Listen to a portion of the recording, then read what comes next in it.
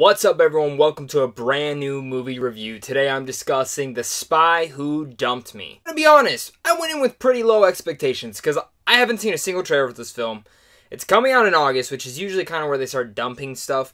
But Mila Kunis is in it, Kate McKinnon is in it, and I kind of both enjoy them.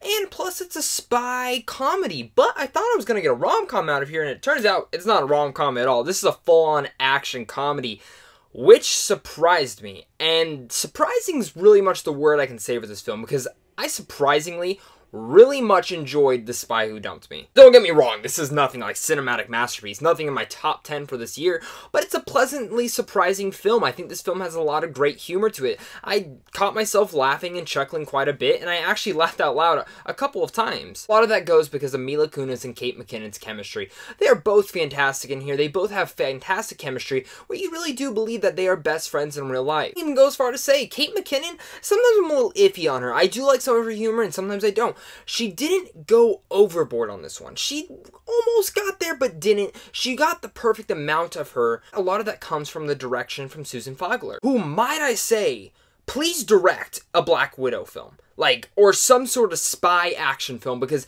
the action set pieces in here, I was like, when it was building up to one, I'm like, oh my god, it's gonna be pretty crappy. And no, they're really good and they're brutal. I was wondering why this film was going to be rated R, and now I see why. It's because of the action sequences. They are hard R rated action sequences, and they fit within this film in a kind of funny but unique way. But really, the action sequences were such a huge and pleasantly good surprise. Again, I said surprise, because surprise is really how you can redefine this film. The supporting cast was good in here. Justin Theroux pops in here, and I did want a little bit more of him. I thought his role was good and serviceable, but I really like the guy as an actor, and I think he's a pretty good and funny guy. I wish he was just in the film for a bit more. Kind of goes to where I say with this film. Again, it's not a cinematic masterpiece at all, but I think it is a good time to watch at least one time in the theaters. I would recommend to go see it in the movies and enjoy it. It's horrible that the studio is not marketing this film better or even pushing out more trailers because I think this film was good. Again, comedy is very subjective. If you guys have been watching my channel for a long time, or if you're new, way I grade comedies is how much did it entertain me and how much did I laugh.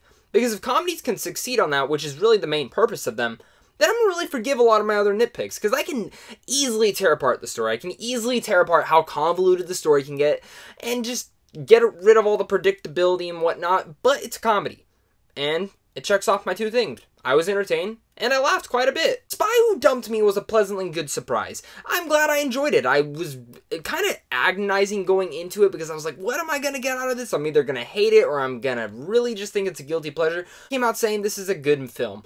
I enjoyed it. I laughed. I chuckled. I smiled.